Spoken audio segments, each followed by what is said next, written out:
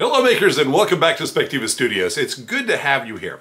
Now today I want to deal with something that is a constant challenge for anybody who's using acrylic paints, especially on canvas, and that is how do I keep my lines as clean as possible?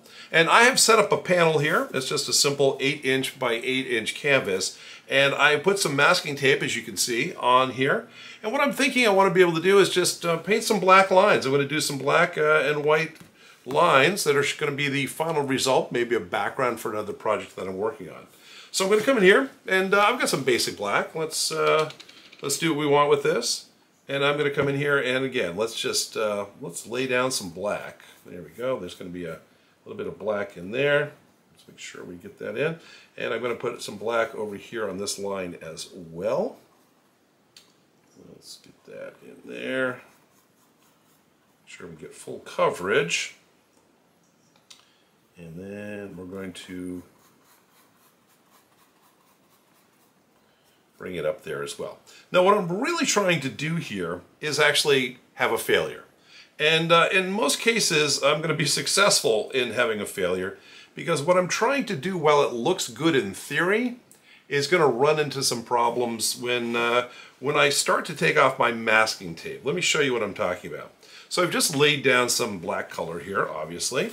And if I come in here and I take up my masking tape, let's see how we do here, and I pull it up, it's not tragic. I've, I've, I've experienced more tragic, but I want you to notice that on either side where the masking tape is, I've got some bleed. You can see some bleed there. There's bleed all along in here. Let me zoom in so you can get a, a better view of what we're talking about there.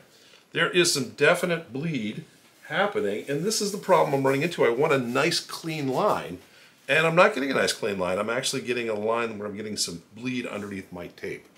So I'm stymied. I'm unhappy. I ruined my project again. And I don't want to do that. So what is my option here? What can I do to make this happen? Well, we're going to employ one of, uh, one of my favorite tools here, and that is we're going to use some liquid medium. Now, liquid medium, as I've talked about in past videos, is a pigment-free acrylic paint. This one is a, an ultra matte medium, just means it's finished. It's going to be very matte as opposed to glossy. And what I'd like to do instead of putting the, uh, the black on here is I'm going to lay down a coat of this puppy first so that I don't run into a uh, similar situation. And I don't need too, too much. And again, it's always a good idea if you haven't used uh, your materials to give it a good shake before you get in there.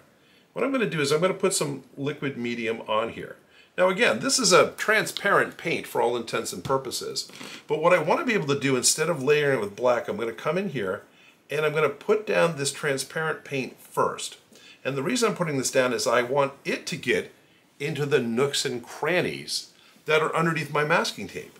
Right? No one's going to be able to see that part because if we take this off, it's going to be clear on white, not a big problem bit more in there. And so in doing this, it allows me to come in and to make sure that there's, in essence, some paint has already snuck under the fence, right? Some paint has already gotten, gotten in here and has already kind of clogged up the holes where our black paint may end up going. So I wanted to just smooth this out a little bit. There we go. And uh, let's get that. So there we go. So I'm covering the areas I want to paint, but most important, I'm covering up the seams where the masking tape are with my liquid medium. Now, I'm going to give this a few minutes to dry. And then when we come back, I'm going to try to run some black on this side and see if we get different results. Okay, welcome back. Now this side has had an opportunity for the matte medium to dry sufficiently. I think it's pretty good.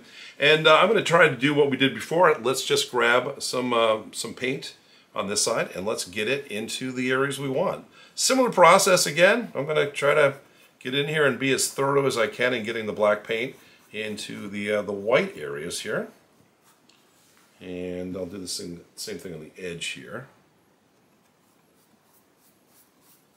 And there we are. Okay, that's looking good now. Now, this is the moment of truth.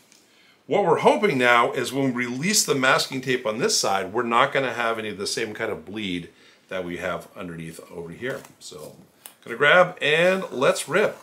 And I don't know if you can see that, but right away, how clean that line is. It's a beautiful, beautiful thing. I'm gonna come over here to the same thing. Let's get this one out of the way. We're gonna pull it up. And again, the difference between the two sides. This side, the black lines, and the white is a crisp, tight line. Over here, not so much. Now, I want to talk about one other thing that we might be able to do because there's nothing more heartbreaking than you've been working on a project and now you put some paint in a place where you don't want it to be or you, you got something that doesn't look as good as you wanted it and what are you going to do about that? Well, I'm going to show you a little bit of first aid, possible first aid, depending on what you're doing. But let's say this black feathered edge that I'm, it, it's a deal killer. I certainly don't want this in here. So using what we just learned, I'm going to grab a piece of masking tape and what I'm going to do is I'm going to come and do a little triage over here.